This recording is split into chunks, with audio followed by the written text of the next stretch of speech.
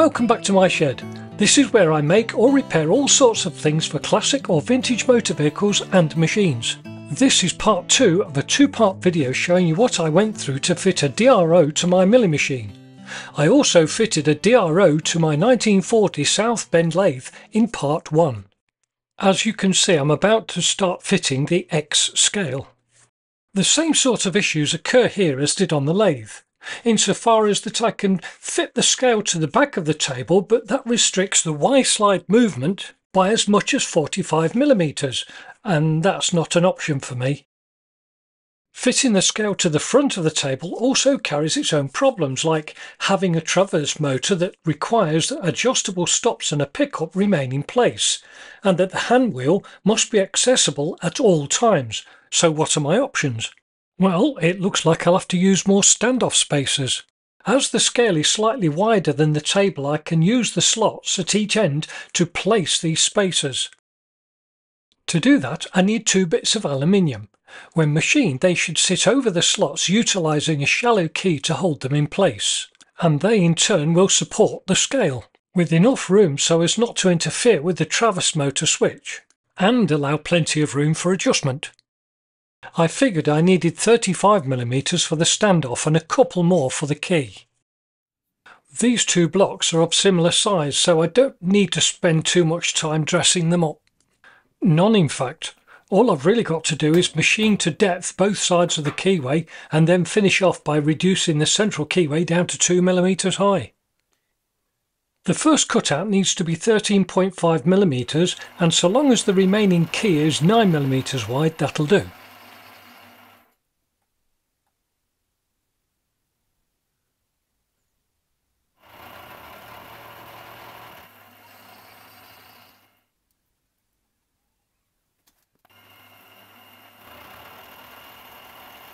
This cut is just so that we can take it down to full depth.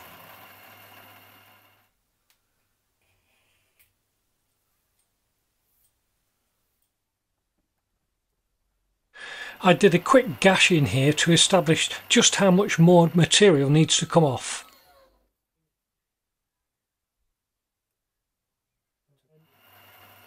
That established, I set to size and ragged off the excess. I also had to run back down the same cut to remove the spring because this cut is about ready for sharpening. After raising the cutter by 2mm I got to work removing the excess material from the top of the central key.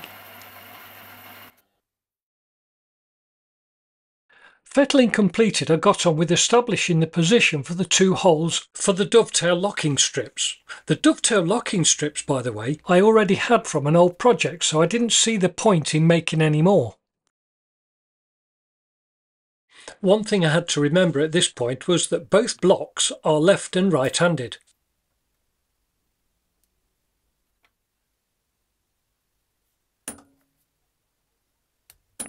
As usual, after marking out and spotting, the drilling started with the pilot and then finished with the clearance drill.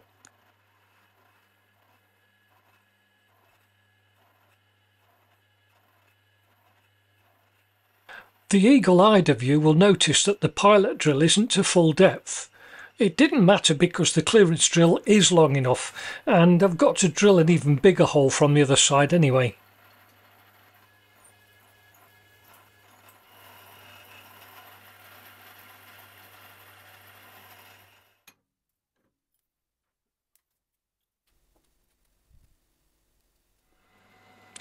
This drill bit is opening up the other side of these holes to allow the cap head screws to do their job without interfering with the scales.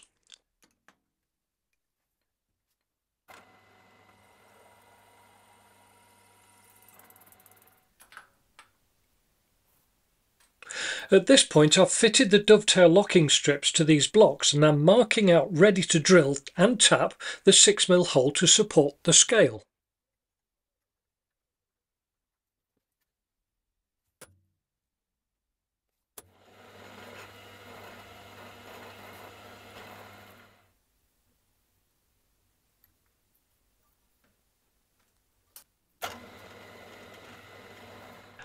After a bit of a fettle and a clean up, they're both ready to be fitted in place at each end of the table slot.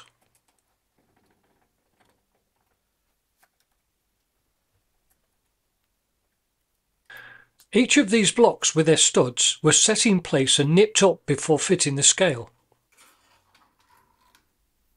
As with the lathe, the penny washers will serve to allow any adjustment required before finally clamping the scale into place.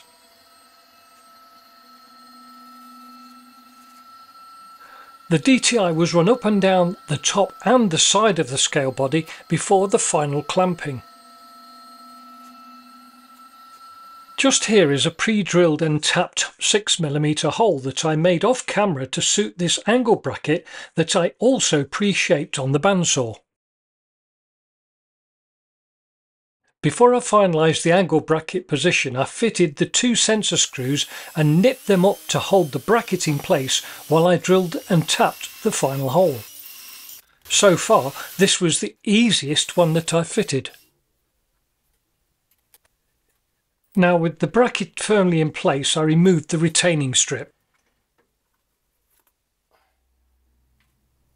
I had promised on the previous video that I might be able to show you how I set the studs, but as luck has it I still had very little room to get the camera in so it looks like you'll have to go back and revisit my rather poor explanation in the first video.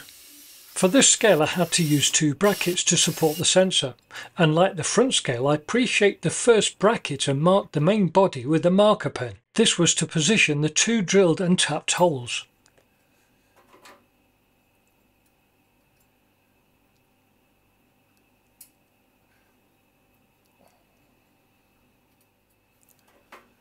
Obviously after setting it in place it had to be as level as I could get it. To mount the scale I had to overcome a couple of obstacles. One was that the scale mounting face was about 3 degrees out of vertical and two I have some suds drain holes in the main casting that might just aim the coolant into the sensor and that's something I'd not want. To deal with the vertical mounting face first, I had some 6mm thick bracketry that with a bit of pushing and shoving I could, with the help of a very big set of Stilsons and a stout vise, bend the said piece of 6mm aluminium plate into shape, which I managed to do, but while doing it, a casual observer might have thought I'd lost it. Anyhow, according to the spirit level it looked good enough to mark out and machine the slots, which wasn't easy as the material was a bit gummy. I also profiled a section of the bracket on the bandsaw for some obscure reason, then finished dressing it on the belt sander.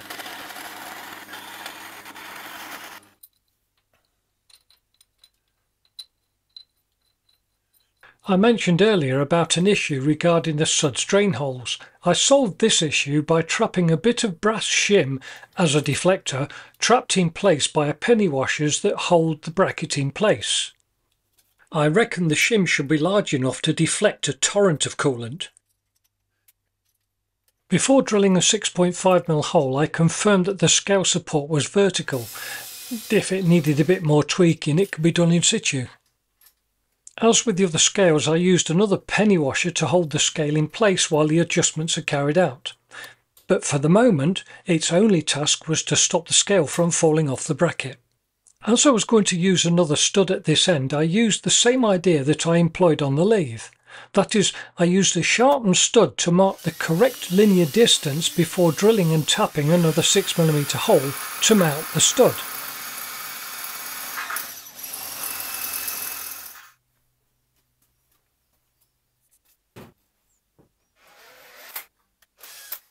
With the stud in place, the locking nuts and the accompanying penny washers in place, the scale was mounted and set to the correct alignment, and checked with the DTI in the usual manner before the lock nuts were finally nipped up.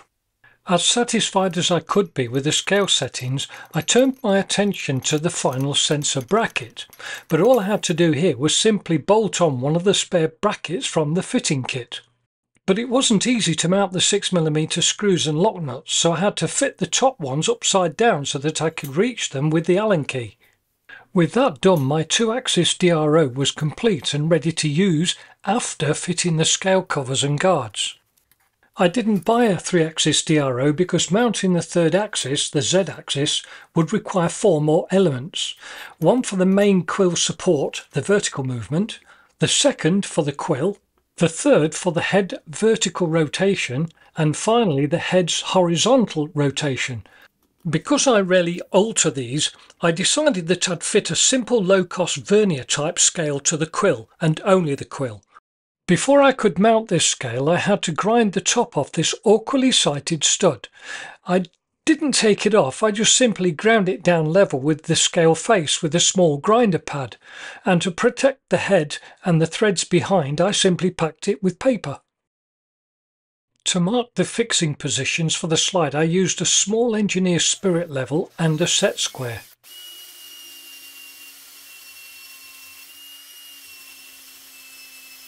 The bracketry was a simple 2mm thick two-hole link that connected the scale body to the stud.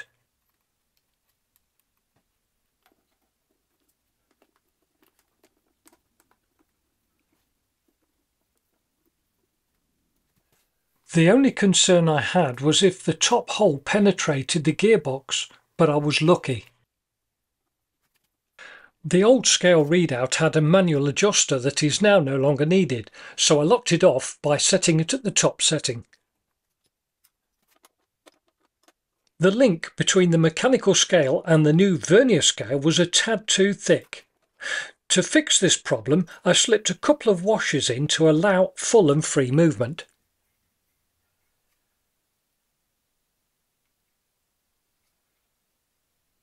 As you can see, everything is in order and all I've got to do is calibrate the DRO units. But I'll probably do this off camera because the instruction book is about as much use as a fart in a colander. I haven't found the most appropriate place for this small readout yet, but I used a bit of angle line held down with a magnet to support this for the moment. I should be back to form once I've done some more alterations to the new house. I hope you enjoyed the video. See you soon. Bye for now.